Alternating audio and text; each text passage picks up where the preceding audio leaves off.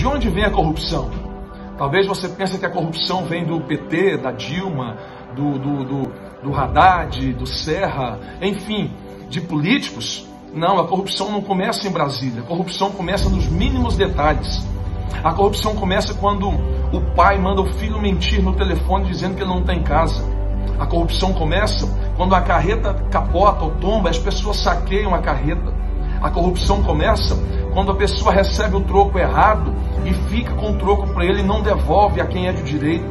A corrupção começa quando a pessoa dirige falando no celular, quando a pessoa dirige bêbado.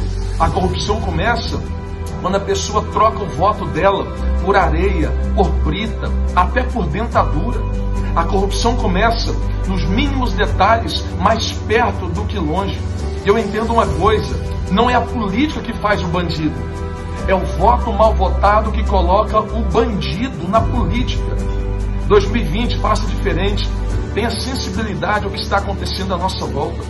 A maior crise que o Brasil está passando é uma crise moral, é uma crise de caráter, é uma crise de identidade. E eu percebo e entendo que a mudança que o Brasil precisa depende de nós. Não queira mudar o outro se você não mudou nem a você mesmo. Não queira transformar o mundo se você não transformou nem você mesmo. Que 2020 você seja uma melhor pessoa, você tenha um olhar mais ampliado, maximizado, que você seja justo diante das situações que vai acontecer à tua volta.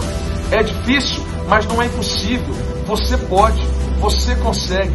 Vamos para cima. Que 2020 seja o melhor ano da nossa vida. Que 2020 possamos dizer não à corrupção e dar um basta de vez nessa praga, nesse câncer que tem lastrado no Brasil. Boa tarde. Deus te abençoe.